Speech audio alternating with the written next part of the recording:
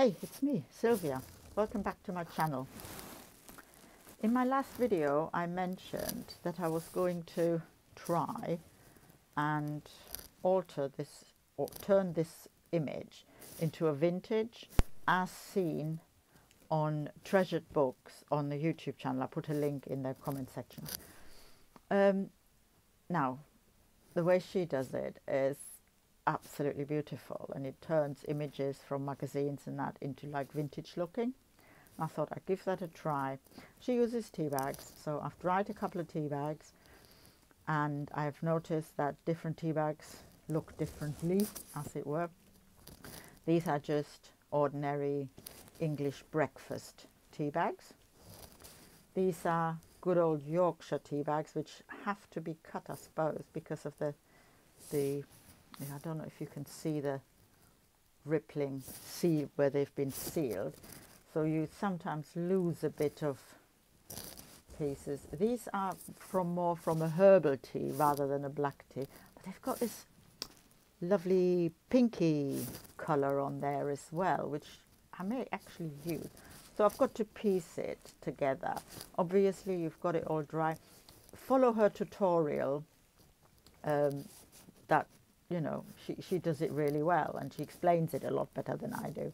However, I wanted to see and try can it be done, or is it just a case of you know somebody that's really good at it? Can somebody like me, a total beginner, do this? Well, we'll find out, won't we?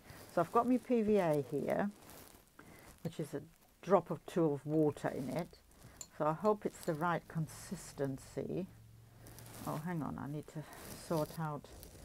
I want to use this this pinky image, so I really need to let me let me see if I can get you closer in.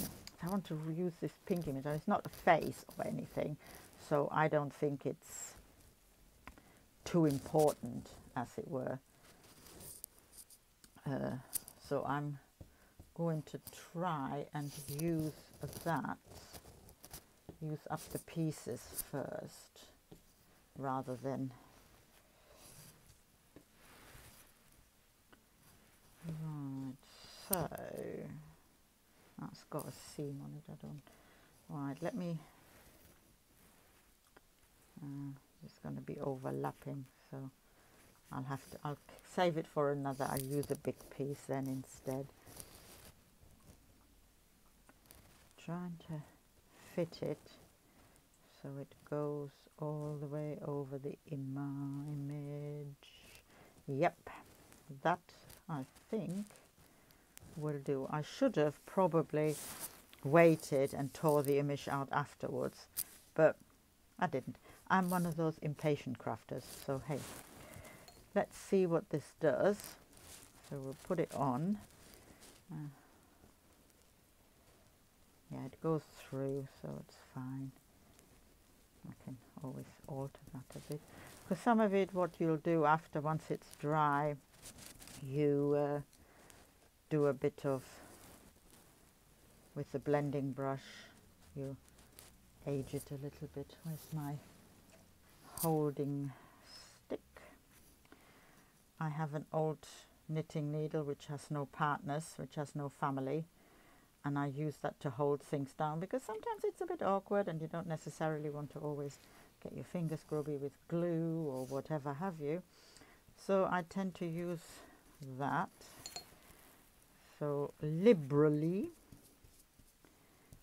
I mean, I'm not uh, too worried about creases and things like that. I just really want to see if this is going to work basically if this going to you saw how white and new it looked is this really going to be the most amazing vintage turned vintage look or is it just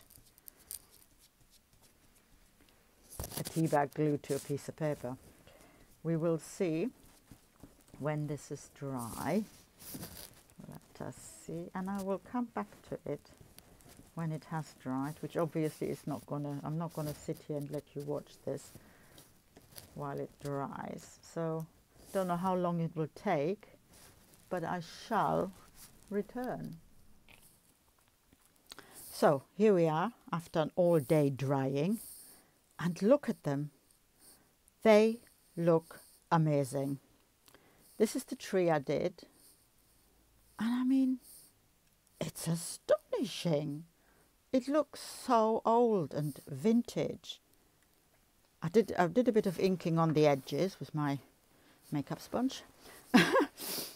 and look at it. And this is one I did off camera, a little toy shop. And I used the, the, the separated tea bags. And oh my God, I can't get over this. This looks so old. It's been in somebody's cupboard, somebody's drawer for years. It looks fabulous, absolutely fabulous. So, my advice is A, save your tea bags, and B, go and watch Natasha's of Treasured Book video, her tutorial. I put a link to her uh, to her YouTube in the bottom, in the info box. I can't get over that. This looks so faded and old. I want to do it with everything. Joking, but you know, do you know what I mean? When you get something so right. So I'm going to put the little tree there. Maybe get some, find some images. Let me just, maybe find some images to, um, I don't know, presents maybe? Some, a little row of presents or something. So that's where the tree will go and I'm going I'm going to do something like that on here as well I think. And I'm going to put the little shop here. I don't know what else I'm going to do but that is astonishing. It really is. My advice to you like I said do it. Absolutely. Have a go. Spend an afternoon doing this. You will be amazed Thank you again for watching and thank you for all the likes and the people that have subscribed. You are really making my day by this. Thank you so very much. Bye bye.